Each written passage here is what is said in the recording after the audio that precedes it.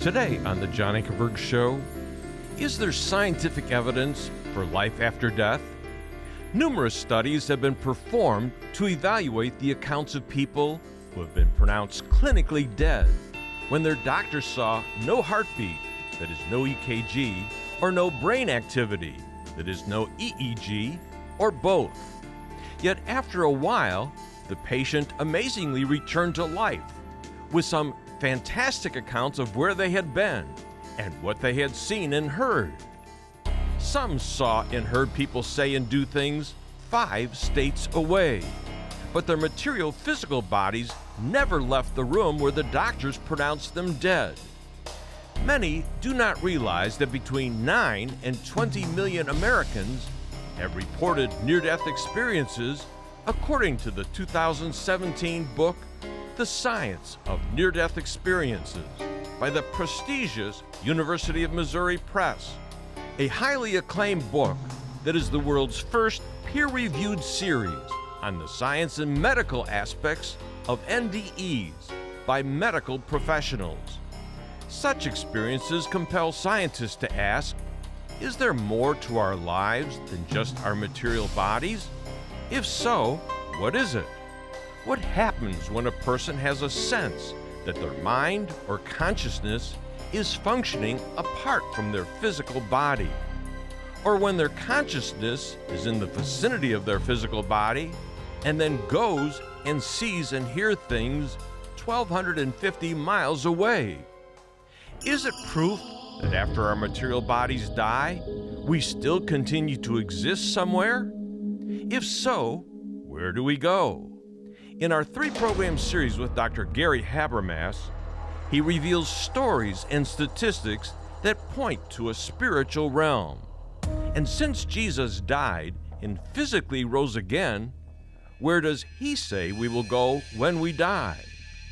Dr. Habermas takes us through six levels of near death experiences, from near death experiences in the ambulance to near death experiences from the congenitally blind people who see something real, like colors people are wearing, to heart death, to brain death, and eventually to irreversible biological death experiences. So join us for this special edition of The John Ankerberg Show.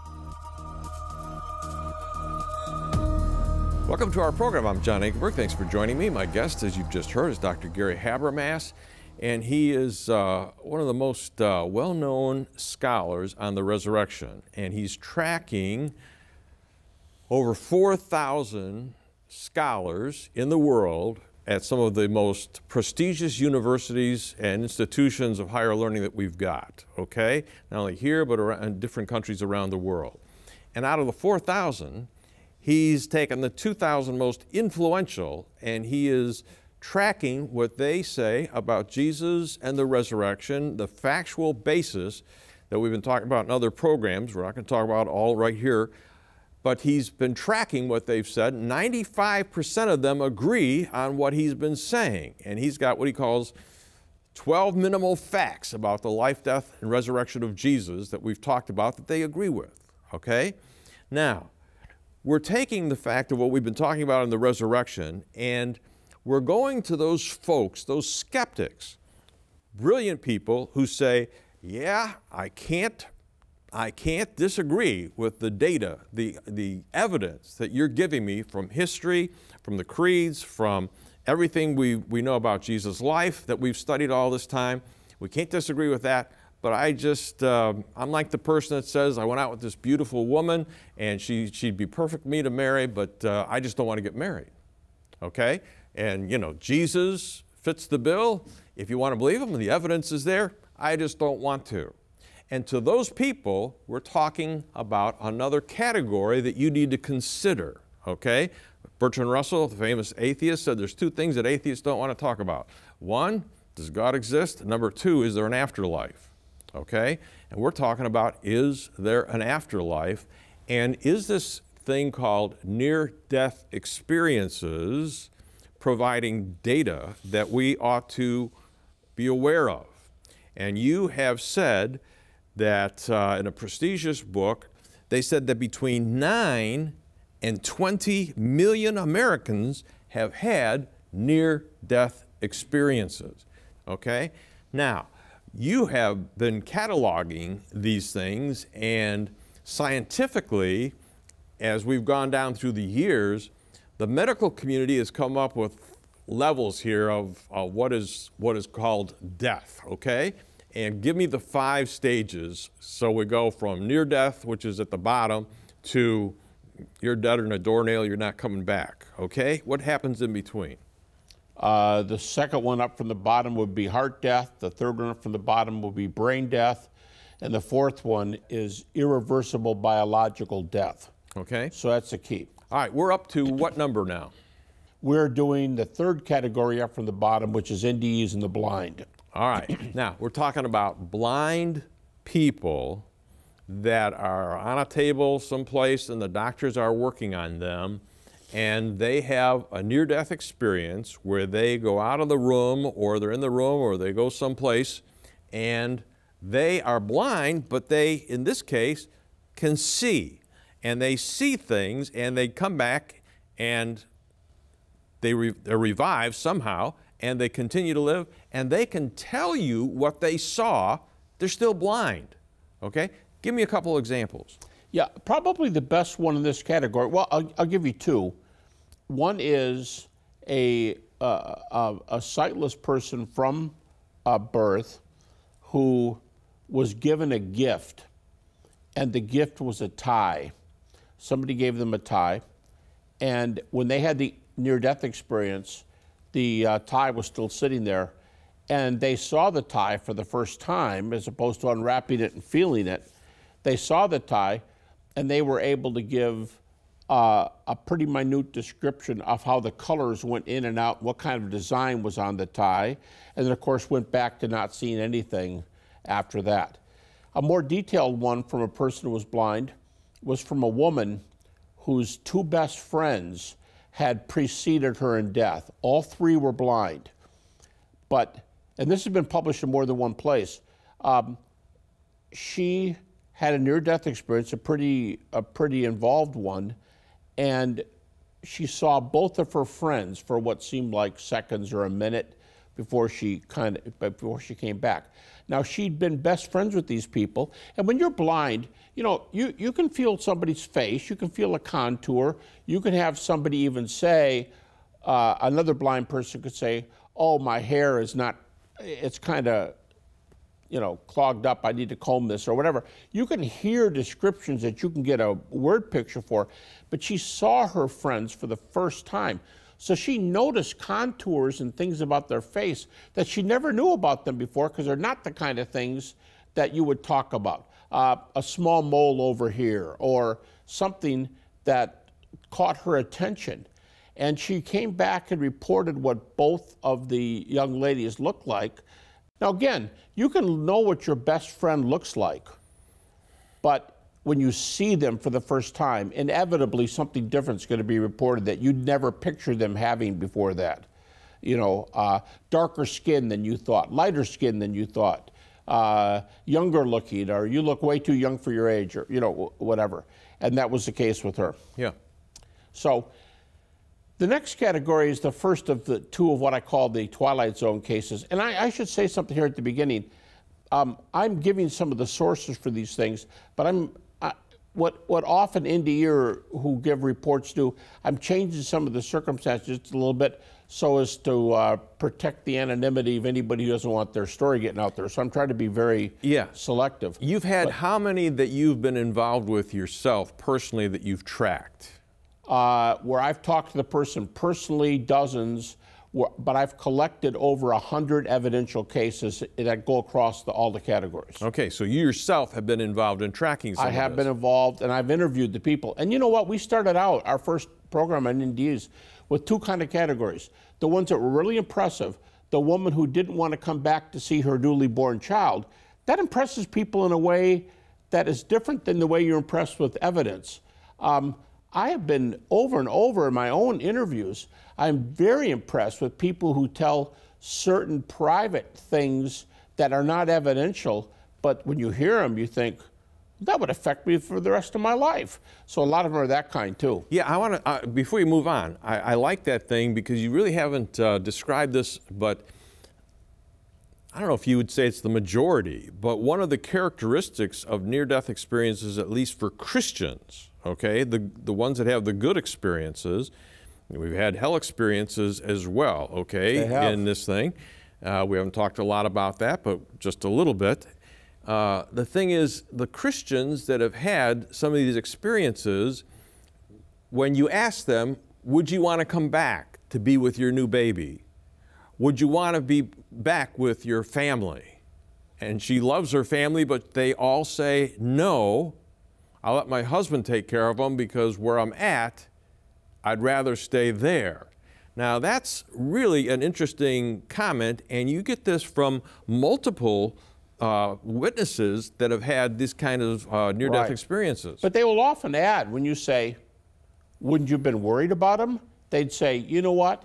After being at that place and seeing the symmetry of life, I was sure that whatever worked out, it would come out in the end. In other words, they were making a comment on the problem of suffering, that I know things will work out in the end, which, which is a teleological expression of why I don't have to worry about them back on earth. It's like C.S. Lewis. He described in one of his little books the fact of, of people seeing colors in a deeper way, a more uh, real way, if yes. you want. Yes. Talk about that book. What was yeah, the title? It's fantastic. And that's again back to my have you ever been to Narnia? Have you ever seen Oz question? Because in C.S. Lewis's little book, The Weight of Glory, his famous sermon that he preached in Oxford, he says, We revel in colors.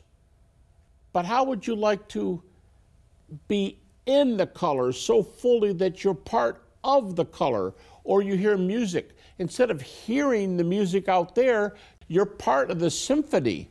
And I think his point is, who knows? C.S. Lewis, you, you know, when he describes way, uh, his uh, autobiography, Surprised by Joy, he talks about what sounds exactly like a near-death experience in a trench in World War I. So he probably had one. But people, that, that's very, very common.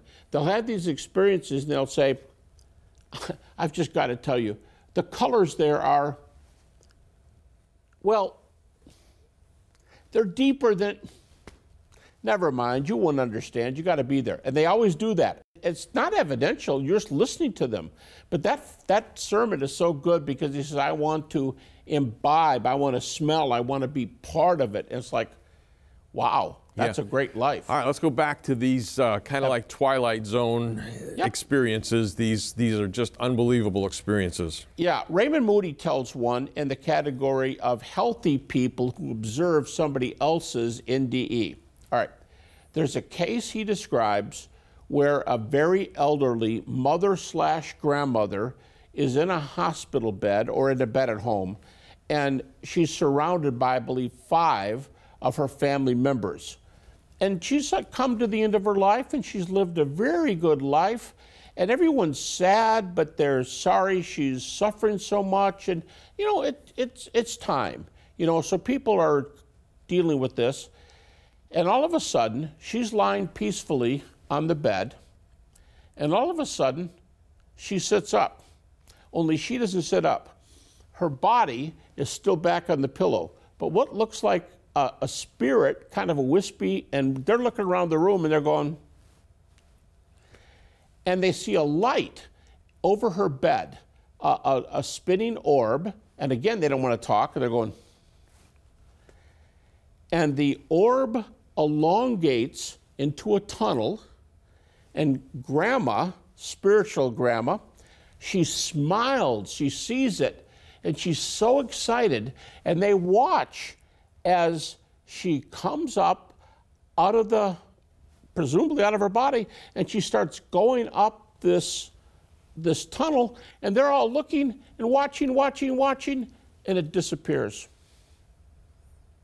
Now, if that's true, she looks like she's the one going to Narnia, but they got to see over the divide and they got to see. It's like Moses, you know, he couldn't get into the promised land, but he could look over. Mm-hmm. Uh, they got a chance to look. and They were so happy because grandma looked so pleased. And in this case, she actually did die then. She did die. Okay, yes. but you're saying these people watched it. they, five healthy people watched grandma go. Wow. And they were all too happy to have the funeral because it was a joyous occasion. Yeah. I, I find this very interesting that the Christians that have these wonderful experiences do not fear death anymore. And it, it reminds me of the disciples that it seemed like they didn't care about this category of death. They all knew they probably would die, and they all did except John. The fact they were all martyred in gruesome ways, but people that talked about them, their friends, the apostolic fathers that talked about, oh, I knew him, you know, and Peter didn't feel this, and Paul didn't think that was a serious thing at all. They did not fear death at all. They got to look forward to That's it. That's right. Now, in Paul's case, many Bible commentators, New Testament scholars, believe Paul had a near death experience. And, and the interesting thing is, some of the older commentaries before NDEs were anything, and the comment uh, by people who don't think much of NDEs, but they'll say in the commentary, they'll say, you know, 2 Corinthians chapter 12, where Paul says he visited the third heaven, he says it was 14 years ago. You know, chronologically, this is the person talking, they'll say chronologically, that works out to just about the time when he would have been stoned and left for dead outside of Lystra. So maybe he had, and back then when they're writing this up, it's like maybe he had one of those visions where people saw not knowing. Now, if Paul had had one of those, now I ask if 2 Corinthians 12 was a near death experience, if it was. I mean, Stephen looks up to heaven, sees Jesus on the right hand of God, grandma going up the tunnel. So, so I'm wondering if Paul had that does that cause Paul, he sees the resurrected Jesus, so real he's blinded, he has an NDE, he had, he had a twofer, right? He had two of these. Does that allow him to write my favorite verses, Philippians 1 21 and 23? For me to live as Christ, to die is gain. As I say to a lot of people, to live as Christ makes a good message. You don't hear a lot of preaching on to die is gain, but then two verses later he says, I prefer to die and be with Christ, which is, and there's an emphatic Greek expression here, which is often translated, I prefer to die and be with Christ, which is better, comma, far better. So I wonder if having looked over, that's what NDEers say far better. Now, now, confessedly, he may have gotten that from the trip to Damascus and, and knowing Jesus is in another realm, and he got to see him briefly before he was blinded. But um, yeah, I think these guys know what's going on. How, how many of the others were, were stoned and left for dead or things happened and they also knew about it, but they were sure convinced of the other reality. All right, give me another extreme, extreme example that was tracked of a near death experience. Well, the last category is where the person who has it is near death, but they report data from somebody who is irreversibly dead and you'll never see him again in this world. And there's a number of those. Now, the example I gave, hate to tell you this, but your cousin was just killed in Afghanistan, and, and you're going to hear about that. You know, the, the person you might meet, it's not Jesus for sure. But I just thought as I said that, Look at when uh, Jesus took Peter aside and said, They're going to come and take you in a way, John 21, where you don't want to be taken. He predicted the death by which Peter would die. To, to, uh, and then Peter, just reading last night, where Peter says, This tent's going to be, uh, it's going to be taken from me pretty soon. I'm going to be, as, my, as the Lord told me. So when someone says, You're going to get a telegram and it, and it happens, or sometimes not quite the same as near death experiences, but what sometimes referred to as post death visions, where somebody gets a 10 second meeting with somebody the day of the funeral. There are a number of stories where they're sitting there in the person's home and everyone's going to be getting their cars and going home the next day, and the funeral was today. And there are a number of stories where three of them are in a living room, five of them are in a living room, and the wife, the grandmother, appears in the room briefly for five seconds, and someone says, are you really here? And sometimes they don't even talk. And they walk, walk over and pick up a hairbrush and walks over and drops it in their lap. And everybody sees the person move an object, or just the fact that more than one has seen them. But the point is, they don't ever come back. So they're irreversibly dead. So those sorts of Twilight Zone dad, there's a famous case where in one of those, where the fellow saw his dad, the family had been trying to solve a will um, but they couldn't find the writing. Dad had put it somewhere and nobody could find it. When the son sees his dad, the son comes back for the near death experience. Dad told him it was sewn into the inner pocket of one of his coats. Hopefully, they didn't throw it away, and they hadn't. And they found it, and they got the, they got the document out. So the, the key is that the person who gives the information is irreversibly dead. Some of these are two years, most of them are two, three, five, but occasionally you get a 10 or a 15. I know one that was 49 years mm-hmm. later. Have been dead for 49 years. The person was dead for 49 years. It was his mother, and she died in childbirth. And before he was old enough to walk and talk, his father had already remarried. So mom's pictures were all out of the house and the new wife, by that time, the pictures were in the house. And when he had a near death experience and say, said, I met my mom, the aunt who understood that her sister's pictures had not been around the house because her brother in law had remarried, she came over with the family album and said, Which one did you see? And he picked his mother out of the book, but they didn't talk about his mother only to keep things you know, so that was another one. But she'd been dead for 49 years. This man yeah. had a heart attack, and so he was presumably 49 years old. All right, what do skeptics do with this kind of evidence? I hope they're uneasy. mm-hmm. But what do they, what do they say? Them... What do they say in their magazines and articles and so on? Oh, they'll just usually say things like, oh, it's a bunch of baloney. Here, here's the big objection in your death experiences. They'll say, it's hearsay. It's hearsay. Or they'll say, We've had experiments, and this is true. There's a number of hospitals around the world, Western Europe and the US, North America, where they put computers up in the rafters and they're saying, well, if you were up above your body, what was that random five digit number that keeps floating around there? And nobody's ever reported the number yet. But now there really is a story about a penny. There really is a story about a quarter. You didn't tell the story about the lady that went and looked at the top of something. I just realized that one too, and it's in the same book by Jan Holden I mentioned earlier this, this woman is up above her body and she says, You know, I'm obsessive compulsive. I have uh, OCD. And she said, I looked down on the top of a medical machine that was six to eight feet tall, and they, the hospital, rivets numbers so they can keep track of all their things, and it was on the top. So, having OCD, she said, I have a habit of memorizing long numbers.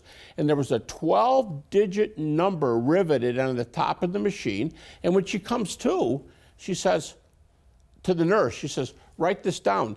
The number is 367432, and the nurse writes it down and puts it away. Well, a couple days later, they came to get that machine to take it back out, and the nurse said, Whoa, whoa, whoa, let me look. Numbers exactly right, 12 numbers. So, I mean, that's another one 12 numbers at random from up by the ceiling. Okay. What do you want the person that does not know Jesus, has not thought about spiritual thing, has not thought there's an afterlife, what do you want them to walk away with from what we've said today? I would say before you even look at resurrection, if there's an afterlife, you're playing Russian roulette if you don't if you don't check into it and see what does this mean for me. Because if there's an afterlife, especially things that point to a worldview that goes with it, God, intelligent design, ethics, this is part of a system. I need to know more about the world.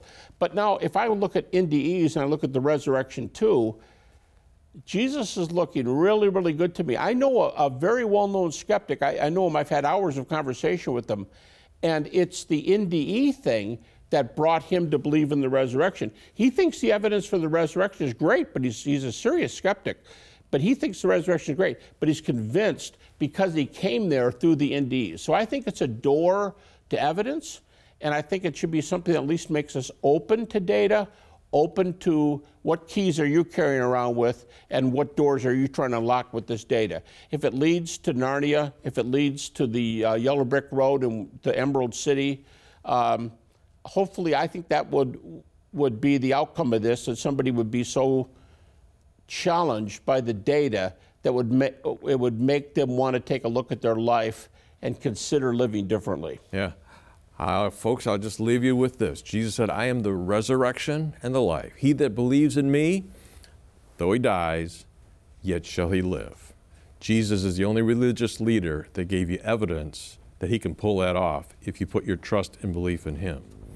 Gary, thank you for being with us and giving us all this great information. Thank you. Had a great time. Yep. And uh, folks, stay tuned. I've got a personal word for you.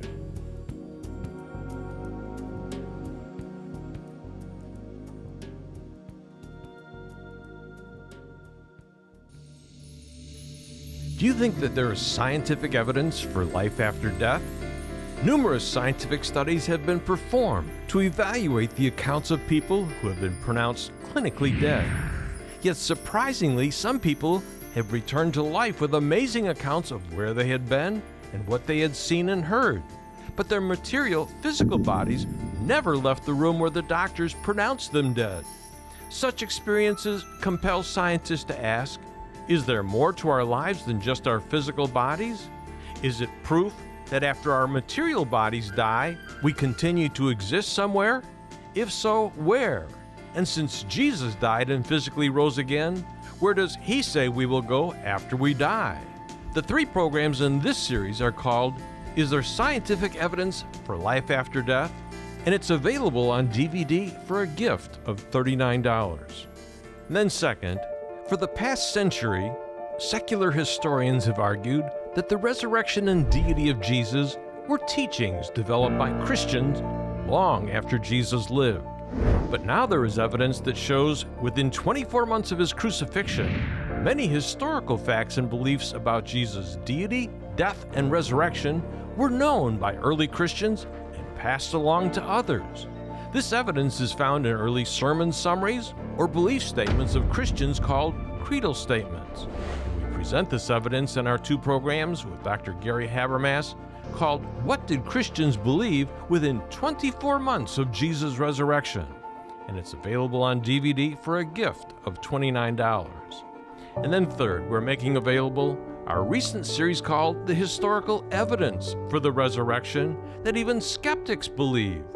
Dr. Habermas explains why the majority of 4,000 critical New Testament scholars now agree on 12 historical facts about the deity, death, and resurrection appearances of Jesus to his disciples. The five programs in this important series are available on DVD for a gift of $49. And finally, you may order all three of these series together, containing all 10 TV programs, for just $99 or you may order any one of these three series by themselves. But to order now, call us at 1 800 805 3030. That's 1 800 805 3030. Or you may order these series at our website at jashow.org.